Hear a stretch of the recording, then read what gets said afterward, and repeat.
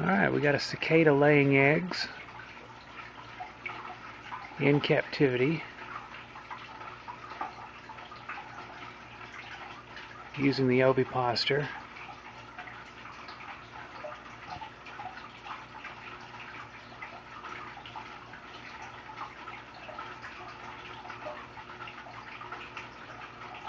Now I'm not sure if she's done or if she's picking up to go to a different okay she's gonna use she's gonna go to a different spot on the branch. These things will use that ovipositor and they'll make several incisions in the branch and they'll lay several sets of egg cases. It's really interesting that these are doing it in captivity. This is about the fourth one that I've had do this Once she gets a good groove in the branch, she'll start depositing eggs again. I have two here that are mating. I mean, the fact that these are captive doesn't seem to bother them at all. These are all 13-year uh, cicadas. They're the Cassini species, which would be Magicicada tredecassini for the 13-year. So given that these two are mating, probably we'll see this female laying eggs soon.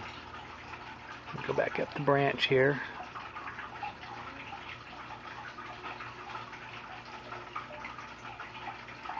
And again, you can see her starting to cut into the branch now. The ovipositor is the black structure um, that's coming out of the middle of the abdomen there. At the tip of the abdomen is the actual capsule where the eggs are stored.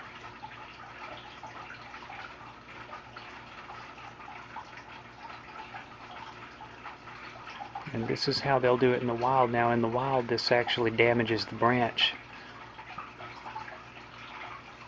And where there are large numbers of these insects, you'll actually see the outer branches of the tree die after the cicadas are gone, and they call it flagging damage.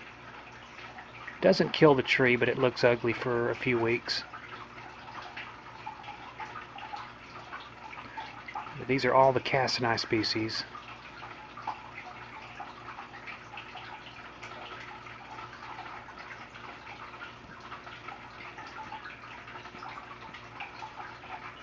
These were collected um, near Hardy, Arkansas, just south of Hardy, Arkansas, along the south fork of the Spring River.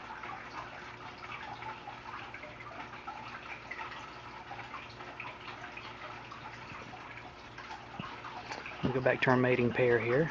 They are they are really getting it on.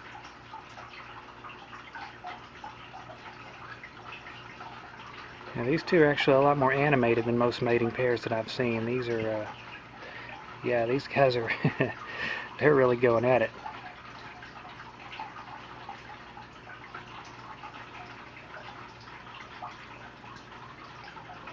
And anyways, mating cicadas, egg-laying cicadas in captivity. Interesting stuff.